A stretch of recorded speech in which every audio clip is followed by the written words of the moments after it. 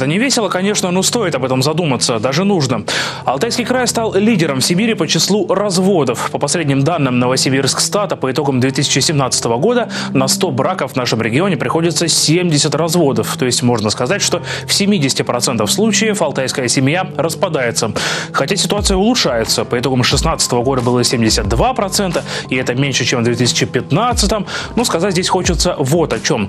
Как правило, причины в таком количестве разводов видят экономические. Например, отсутствие жилья у людей, низкие доходы. То есть дело, возможно, реально поправить, именно поправив экономику. А то ведь чем больше разводов, тем меньше рождаемость, которая и так страдает, а значит меньше рабочей силы и так по цепочке. Здравствуйте, это «Экономика симптома». Никаких сухих цифр и новостей без контекста, только самое показательное и действительно влияющее на нашу жизнь. Главные экономические тренды недели прямо сейчас. О поведенческой экономике на выборах. В Алтайском крае в день выборов 18 марта резко вырос спрос на такси. Данные привел сервис такси «Максим». В Барнауле, Бийске и Новоалтайске заказов было на 14,5% больше, чем в обычное воскресенье, когда никаких выборов нет. В целом же по России рост составил 9,5%, в Алтайском крае больше. Так что жители Алтайского края определенно активизировались 18 марта, и любопытно, что выиграли от этого таксисты. Ну, возможно, есть и другие экономические приросты из-за дня голосования, но их пока мы не выявили. Новогодние гендерные праздники 14 февраля, 23 февраля, 8 марта не обеспечили существенного экономического прироста в Алтайском крае. Это стало ясно из статистики оборота общепита и торговли. Оборот продуктов питания упал почти на 2%, ресторанная сфера тоже почти на полпроцента. Вырос только объем продаж непродовольственных товаров, и неплохо так вырос, около 4%.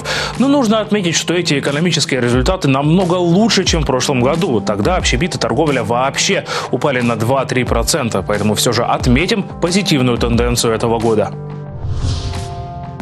А теперь традиционный разбор одного экономического явления. На минувшей неделе в Алтайском крае появилось две территории опережающего социально-экономического развития. Это Новоалтайск и Заринск. Там создадут особые условия для роста бизнеса, чтобы, соответственно, и уровень жизни в этих городах вырос. Давайте разберемся, что это значит. Официально Заринск и Новоалтайск стали территориями опережающего развития 16 марта. Документ об этом подписал премьер Дмитрий Медведев. Сейчас такой статус может присваиваться только моногородам, то есть тем, где большое количество населения работает в одном месте. Итак, территория опережающего развития предполагает, что для ее резидентов, бизнеса будут созданы особые налоговые условия. Освобождение от налога на имущество, снижение налога на прибыль – это и должно привлечь бизнес в территории. В Заринске планируется 5 инвестпроектов на 1,2 миллиарда рублей и 500 рабочих мест. Уже строящийся кожевенный завод, фанерный и другие. В Новоалтайске конкретики меньше, известно только о сырном заводе, но планируются и другие. Создать хотят более 900 рабочих мест, привлечь инвестиции почти на 2,5 миллиарда рублей. Мы, конечно, будем следить за тем, действительно ли развитие Новоалтайска и Заринска станет опережающим, хотя эффект можно будет увидеть не раньше, чем по итогам 2020 года. Ну а сейчас полезная информация для тех, кто всегда ищет ресурсы на то, чтобы вырасти над собой, даже когда собственных ресурсов недостаточно. Я имею в виду в первую очередь деньги как инструмент для достижения целей. В мире ремонта Владимир новичок. Даже покупать строительные материалы в одиночку до этого дня ему не приходилось. Но квартира просит обновления. Придется научиться разбираться не только в специфике материалов, но и в грамотном выборе. Дома пора делать ремонт. Обои поменять во всех комнатах, сантехнику обновить, полы. В общем, полный спектр. Родители тоже собрались. Хотим вместе. У них нужно ванну делать. Я чувствую, сегодня полную машину стройматериалов загружу.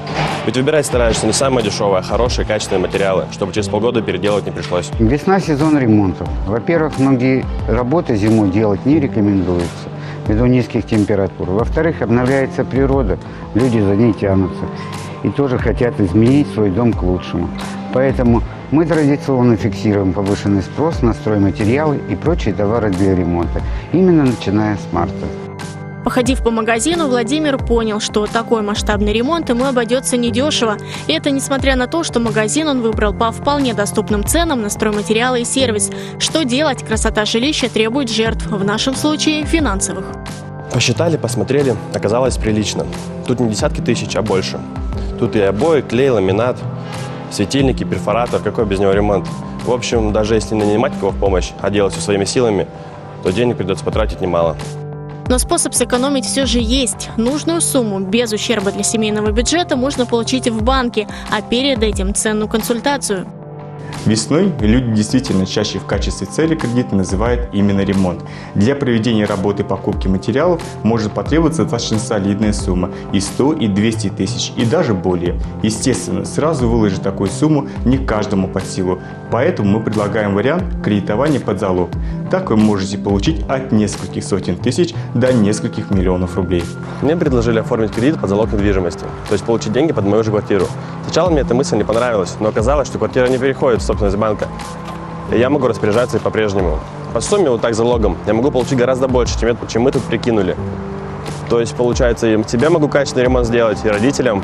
Я тут подумал, может дальше сразу порядок привести. Срок погашения кредита подбирается индивидуально для каждого, а это значит, что ежемесячный платеж будет вполне удобным и комфортным для бюджета. Срок погашения кредита подбирают индивидуально для каждого клиента. Это значит, что ежемесячный платеж не ударит по семейному бюджету, а клиент будет довольным на протяжении всех кредитных выплат. Так бы я сразу здесь сотни тысяч выложил и сидел бы. А тут удобно, на несколько лет распределили. Вроде платеж небольшой, и в магазине на все хватит. Весна – лучшее время для чего-то нового. Но чтобы долгожданных обновлений не пришлось ждать слишком долго, обращайтесь в Банк Восточный. Там вы точно подберете кредит, нужный для вашей задумки. А закончу программу словами сотрудника прокуратуры индустриального района Барнаула. Уж очень они четко и емко передают информацию, греющую душу каждого жителя города, но не чиновников и, увы, не барнаульский бюджет. Это про дороги и то, кто должен их чистить и сохранять в пристойном состоянии. Вопреки позиции Комитета по дорожному хозяйству, все автомобильные дороги местного значения должны содержаться надлежащим образом, вне зависимости от принятия их на баланс администрации города. Вот прям хоть распечатывая слова и вешай над рабочим столом. Хотя в этой ситуации самое печальное другое. Зачастую не заботятся о дорогах не от лени все-таки, а потому что возможности бюджета Барнаула, как и любого города, скорее всего, на это не хватает. Денег в нужном количестве нет. Растущих вам экономических возможностей. Увидимся через неделю. Счастливо!